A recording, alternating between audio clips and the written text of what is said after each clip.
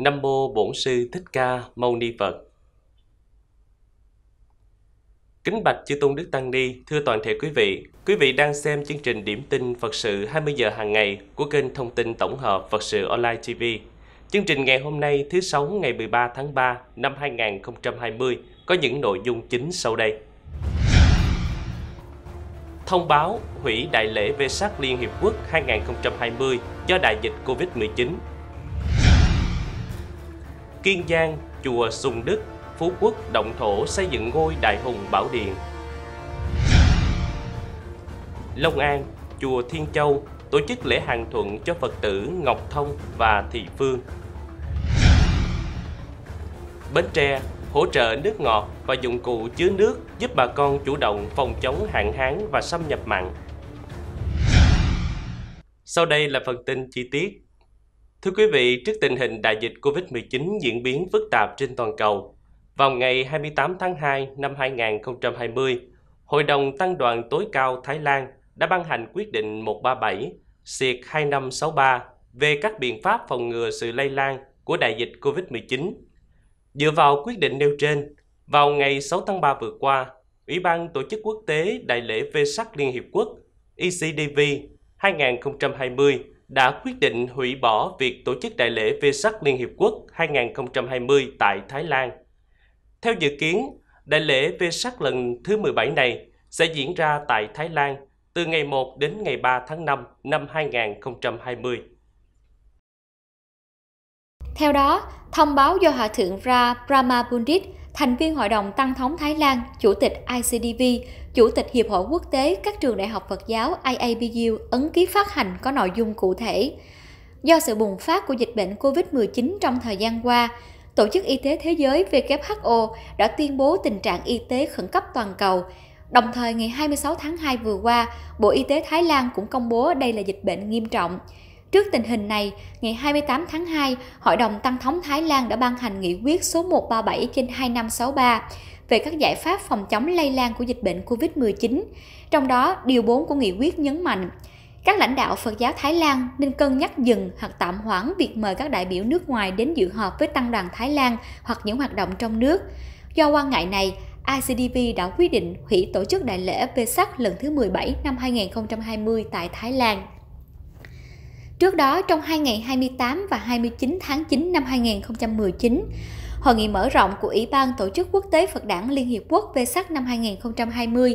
ICDV tại Thái Lan cùng với sự tham dự của Đoàn Giáo hội Phật giáo Việt Nam. Phiên hội nghị diễn ra tại tòa viện trưởng Đại học MCU Wanoi Ayutthaya do Hòa Thượng Giáo sư Tiến sĩ Fra Brahma Pundit, Chủ tịch ICDV chủ trì, cùng chủ tọa có Thượng tọa Giáo sư Tiến sĩ Fra Raya Pariyatkavi, Viện trưởng MCU, Tổng thư ký ICDV cùng các thành viên của ICDV. ICDV đã thảo luận và thống nhất chủ đề chính của Đại lễ Phật đản Liên Hiệp Quốc Vesak năm 2020 là cách tiếp cận trung đạo của Phật giáo để đạt được các mục tiêu phát triển bền vững. The Buddhist Middle Way Approach to Achieving Sustainable Development Goals được tổ chức tại Thái Lan, diễn ra từ ngày 1 đến ngày 3 tháng 5 năm 2020 Hội nghị nhận được đề nghị xin đăng cai Vesak 2020 của Ấn Độ, Nepal, Indonesia. Tuy nhiên, hội nghị quyết định tổ chức tại Thái Lan nhân một năm ngày quốc vương Maha Vajiralongkorn đăng quang và Thủ tướng Chính phủ Thái Lan mong muốn Giáo hội Tăng già Thái Lan thực hiện dự án Đại tạng Kinh Thái Lan. Thưa quý vị, sáng qua ngày 12 tháng 3 nhằm ngày 19 tháng 2 năm canh tí, nhân ngày vía Đức Bồ Tát Quán Thế Âm Chùa Sùng Đức, thị trấn An Thới, huyện Phú Quốc, Kiên Giang đã long trọng tổ chức lễ động thổ xây dựng Đại Hùng Bảo Điện Chùa Sùng Đức.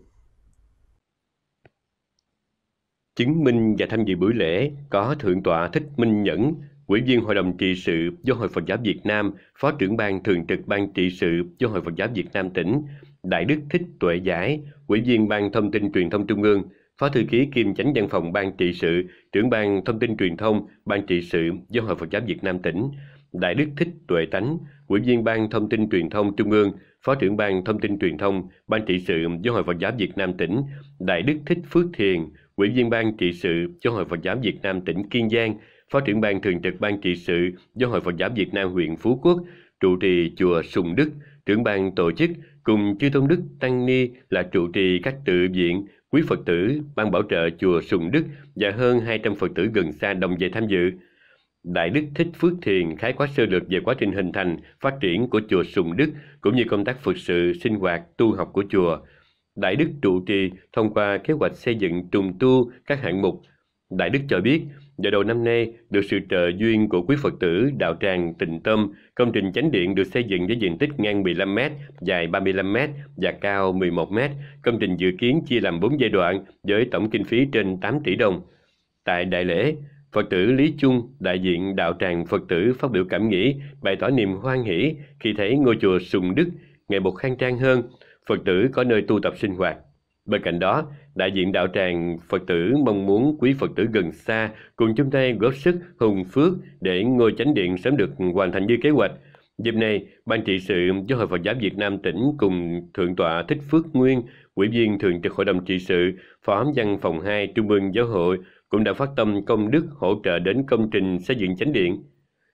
Ban đạo từ tại buổi lễ, Thượng tọa Thích Minh Nhẫn đã tán dương sự phát nguyện của Đại đức trụ trì, tán thán sự giúp đỡ của chính quyền, chung tay góp sức của nhân dân và Phật tử địa phương, đồng thời Thượng tọa cũng kêu gọi toàn thể các công ty doanh nghiệp, các nhà hảo tâm phát tâm hỗ trợ để công trình sớm được thành tựu như sở nguyện. Sau cùng, Thượng tọa gửi lời tri ân và chúc sức khỏe đến quý Phật tử, quý nhà hảo tâm, được sức khỏe dồi dào, thân tâm an lạc, dạng sự cát tường. Cuối chương trình, Chư Tôn Đức niêm sái tịnh và thực hiện nghi thức động thổ. Buổi lễ khép lại trong niềm hoan hỷ của toàn thể chúng hội đạo tràng. Quý vị thân mến, nhân ngày vía Bồ Tát Quán Thế Âm 19 tháng 2 năm canh tí,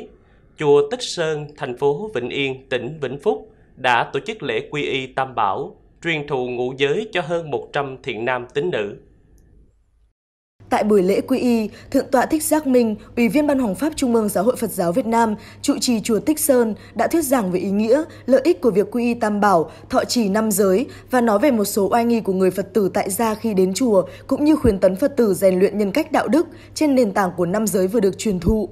Theo Thượng tọa, Đức Phật có dạy, làm người là khó, được nghe Phật Pháp, được gặp Minh Sư và được quy y tam bảo lại là điều vô cùng khó khăn hơn. Do đó, quý Phật tử đang hiện diện là những người có rất nhiều căn lành và nhân duyên phước báu. Muốn trở thành một Phật tử chân chính, phải có tiêu chuẩn, đó chính là năm giới, không sát sinh, không trộm cắp, không tà dâm, không nói dối, không uống rượu. Năm giới là căn bản đạo đức làm người. Sau khi quy y, Phật tử nên gần gũi tam bảo để tu học Phật Pháp, nếu hiện đời ta biết tu tập, tạo thiện nghiệp, khi từ giã cõi đời này sẽ đem theo thiện nghiệp tái sinh về cảnh giới tốt đẹp. Như vậy, cuộc đời của ta sẽ mãi tốt đẹp không chỉ ở hiện tại mà cả tương lai. Buổi lễ kết thúc trong niềm hoan hỉ của toàn thể đại chúng tham dự. Niềm hoan hỉ hạnh phúc ấy còn được nhân lên khi mọi người được truyền giới vào quỹ y Tam Bảo. Sáng ngày hôm qua, ngày 12 tháng 3, tại chùa Thiên Châu, đường Huỳnh Văn Nhất, phường 3, thành phố Tân An, tỉnh Long An, đáp lại lời thỉnh cầu của quý Phật tử hai họ, quý chư Tôn Đức đã long trọng tổ chức lễ hàng thuận cho Tân Lan, Trần Ngọc Thông và Tân Nương Nguyễn Thị Phương. Chứng minh buổi lễ có Hòa Thượng Thích Phước Toàn, Ủy viên Ban Văn hóa Trung ương Giáo hội Phật giáo Việt Nam, Viện chủ chùa Vạn Đức, quận Bình Tân, thành phố Hồ Chí Minh, Hòa Thượng Thích Huệ Hồng, chứng minh Ban trị sự Giáo hội Phật giáo Việt Nam tỉnh Long An, Hòa Thượng Thích Minh Thiện, Ủy viên Hội đồng trị sự, Phó trưởng Ban Hoàng Pháp Trung ương, trưởng Ban trị sự Phật giáo tỉnh Long An, trụ trì chùa Thiên Châu, Thượng tọa Thích Quảng Tâm, Ủy viên Hội đồng trị sự, Phó thường trực Ban trị sự Giáo hội Phật giáo Việt Nam tỉnh Long An, cùng quý chư tôn đức Tăng Ni. Buổi lễ hàng thuận được thực hiện theo nghi lễ truyền thống Phật giáo. Cũng tại buổi lễ, đôi Tân Lan và Tân Nương đã phát nguyện quy y Tam Bảo, nguyện trọn đời sống theo lời Phật dạy. Hòa Thượng Thích Minh Thiện ban đầu từ chúc phúc cho đôi bạn trẻ. Theo Hòa Thượng, lễ hàng thuận được tổ chức tại chùa mang đậm tính chất nhân văn đạo đức, truyền thống của dân tộc Việt Nam và văn hóa Phật giáo cần được duy trì và nhân rộng trong toàn xã hội. Trong sự chứng minh gia hộ của mười phương chư Phật, chư Tô Đức Tăng và sự chứng tri của cha mẹ đôi bên giúp cho đôi bạn trẻ nhận thức được trách nhiệm của mình đối với người bạn đời trong cuộc sống hôn nhân, biết yêu thương và quý trọng, cùng hòa thuận đi bên nhau trong cuộc sống – Nhân đây Hòa Thượng đã giáo huấn ý nghĩa quy y tam bảo và bài kinh giáo thọ Thi Ca La. Hòa Thượng đã dạy rõ về ý nghĩa cao cả và phước đức khi được nương tựa tam bảo và sống theo tinh thần đạo đức của Phật tử tại gia. Đôi tân hôn đã hạnh phúc trao nhẫn cho nhau dưới sự chứng minh của tam bảo hiện tiền và chứng tri của hai họ, đồng thời phát nguyện trước hội chúng mãi yêu thương nhau để xứng đáng là công dân của xã hội và là người con của nhà Phật. Thưa quý vị, trước tình hình xâm nhập mặn đang diễn biến phức tạp và phủ rộng hầu hết các huyện và thành phố thuộc tỉnh Bến Tre, nhằm ổn định nhu cầu sản xuất và đời sống dân sinh cho bà con nhân dân, ngày 9 tháng 3 vừa qua, Phân ban từ thiện đối ngoại và quan hệ quốc tế thuộc Ban từ thiện xã hội Trung ương, Giáo hội Phật giáo Việt Nam, các công ty xí nghiệp, các mạnh thường quân trong và ngoài tỉnh Bến Tre đã kết hợp cùng Ban dân vận tỉnh ủy, Ủy ban Mặt trận Tổ quốc Việt Nam và các đoàn thể chính trị, xã hội tỉnh Bến Tre tổ chức chương trình phát động nhân dân chủ động các biện pháp cấp bách phòng chống, ứng phó hạn mặn trên địa bàn tỉnh Bến Tre.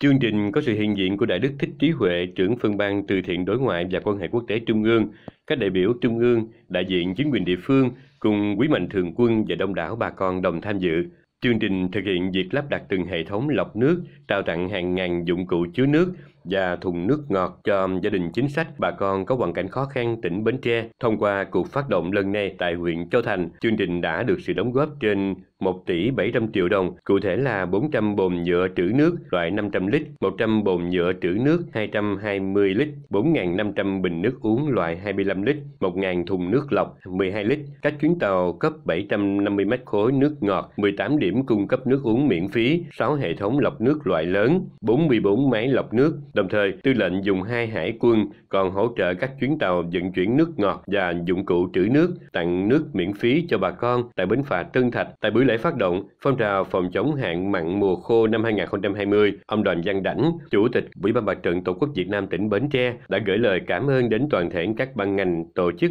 tập thể và cá nhân đã có sự chung tay góp sức giúp nhân dân toàn tỉnh vượt qua thời điểm khó khăn, ổn định lại các hoạt động sinh hoạt và cuộc sống. Chương trình có ý nghĩa thể hiện tinh thần đại đoàn kết của dân tộc, sự quan tâm của chính quyền các cấp đến bà con cũng là những nghĩa cử cao đẹp của các tổ chức, tập thể cá nhân mạnh thường quân khắp các tỉnh thành. Thưa quý vị, chương trình điểm tin 20 giờ hàng ngày của kênh thông tin tổng hợp Phật sự online sẽ được kết thúc tại đây. Kính chúc Chư Tôn Đức Tăng Đi cùng với tất cả quý vị thân khỏe tâm an, Phật sự viên thành. Nam Mô Bổn Sư Thích Ca Mâu Ni Phật